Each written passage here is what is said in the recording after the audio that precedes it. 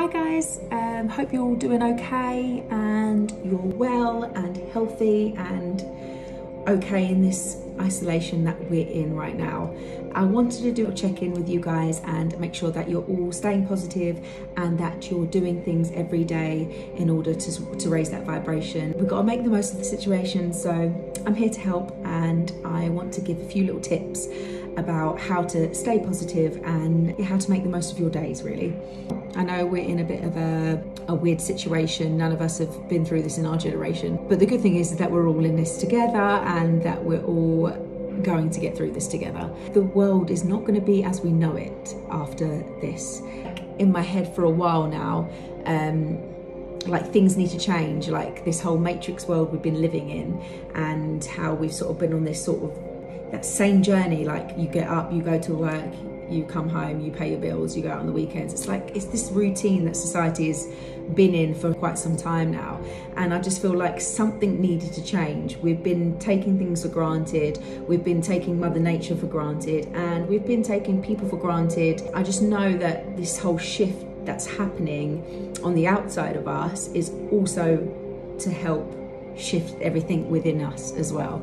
And this time of isolation is so perfect get rid of the shit, reevaluate your life, and just sort of think about right, what changes am, am I going to make within me for when everything starts opening back up again and things do start going, I say back to normal. I don't think normal is going to be happening. In this time, where everyone's isolating and going within and asking themselves the questions of what life that do I want to live when I come outside of this. We've needed this. We've needed this as a society. We need this as a, a nation uh, just to get outside of that sort of like when you're just like on auto drive, you just get up, you go to work, da, da, da, da, da. start asking ourselves, what do we want to change? What do we want to do to make sure our life is happier and more fulfilled, uh, feeling more grateful? And I know a lot of us are going to shift mindset of like gratitude. And, and I just think, imagine like everyone else when they come out, the gratitude is just going to be insane because things we used to take for granted, we're no longer going to take things for granted.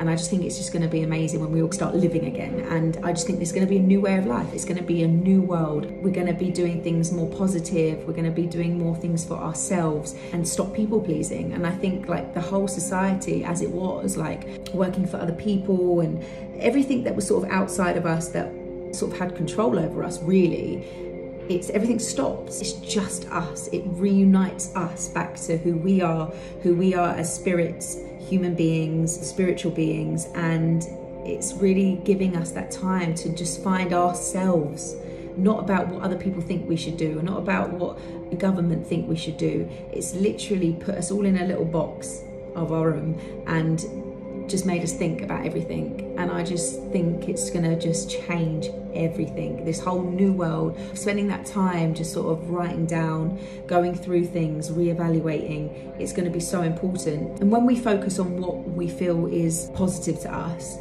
any bad situation I know I've been through, the way I like stay positive throughout this, I know people have been saying to me like, you how do you stay positive every situation i've been through in my whole entire life i've literally always seen the positive of it okay right this has happened to me but I look for the positive in everything. So, what can I do? I, I, know I can't do this and I can't do that, but I'm not focusing on what I can't do because, yes, that would drive me insane. I'm focusing on what I can do, what I can do in the moment, what I can do right now to better my life, to make me feel happy right now in the moment. I've said in my previous videos about how important it is to just live in the moment and live in the now. To change our outer world, we need to change our inner world. And I think that that's such an important message. And if you know there's like a lot of things that are like tapping at you, like, you know, certain insecurities or certain things that are triggering you on the outside, it's always a reflection of okay well what is it triggering within me? What is it that i need to change within me to not feel these certain emotions? To make myself react that way what is it that inside of me i need to work on? Just process it, sit with it. If you can't do anything about it, let it sit there, breathe on it, feel that emotion, and just think, okay, what am I going to do about it? And as soon as you start asking your questions, it just expands your mind. You'll find the answers that you need just by asking yourselves the questions. If all of us are doing this around the world and we're all going within and we're all releasing control of what we can't control and starting to focus on the things we can control, it automatically lifts our vibration. It automatically makes us feel better because you're focusing on the things you can do. That's the positive side of it. And, you know, stop watching the news, stop watching the numbers of, you know, things that are stressing us out. They want us to live in fear to suppress us. We have our own free will to think what we want to think. And I know they're projecting fear at us in that negative energy, which is where they want us to live. We're not going to change. We're going to come out this as the same as we was. And I just think in this time, switch off that telly. Yes, stay indoors because obviously the reasons behind it one, we don't want to get arrested, and two, we want to help the NHS uh, cope with the numbers and to stop spreading it. All we can do is stay in, but what we do with our time is up to us. I want you guys to just really focus on the things that you can do. The positive side of this is that we aren't distracted anymore and we have the time now to put in that effort to really better ourselves, to work on our own insecurities, like the body I want. Well, now is the time to meal prep. You have the time to exercise. Um, you've got access to everything on the internet that you need. Just get it done. And and if you aren't doing it, accept that you aren't doing it and then start loving yourself for who you are embrace your curves, embrace the body you are living in right now. Because if you're not willing to change anything, then you've got to accept it.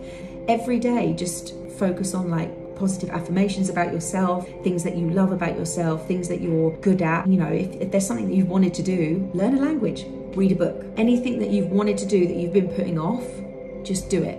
Even if it's like baby steps or a little bit every day towards what you want to do and what you want to achieve, you've got the time to do it now. And although we're social distancing, I don't think we've ever been closer, really, because people have the time to you know have that interaction and i know it's all virtual and i know it's like over the internet but I mean, it's really powerful. And I know for me, like energy is everywhere. Energy, I can connect with you know, I just think of my dad and I think of my my mum and my my even my dog. I miss my dog so much. I think of them, I feel them, I'm grateful for them. I feel the warmth of their energy in me, and I can just do a little FaceTime, and I'm like, oh, that was so nice, and I can get on with my day now. The powerful thing of um, social media and the powerful thing of um, of the phones that we have now, we are using it in such a positive way. And before this happened, we were using it unfortunately in such a negative way because there was a lot of negativity on social media, this, that, and the other. People, you know, saying harsh things and not being kind. And I think now it's like it's humbled everyone. Like this has humbled everyone. And doesn't matter what walk of life you're from, you could be rich, poor, all indoors right now, we are all on that same level. We are all humbled, we are grounded, we are the same. And it makes you think, bloody hell, we are all human beings, we are all spirits, we are all one, all in this together. So have this sort of fuzzy feeling of just like this is going to be good for everyone. The human race, it's going to be good for the world, the planet, the Mother Nature, giving it its rest it's needed. And yeah, we can start working on our health, boosting our immune systems, feeling better about ourselves, working on healing our hearts, doing that work that we've needed to do that we've been putting off for so long. And yeah, that is definitely a tip on how to stay positive and how to be productive in this time is writing down things that you want to achieve and the life that you want to live after all this blows over. You've just got to let go of the, the other things that you were doing that was distracting you, making you feel bad, bad relationships, bad friends. Um, you can really reassess your life right now and and create this new world that we're going to be living in.